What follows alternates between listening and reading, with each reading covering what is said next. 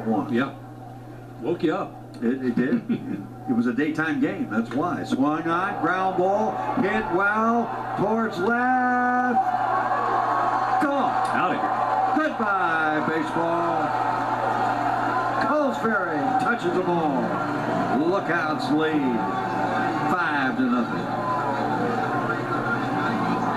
383 feet home run on the meter.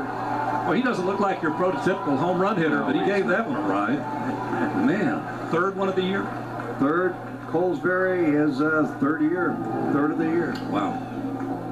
Well, hello, Mr. Clark. Thanks for coming. Here's Garcia.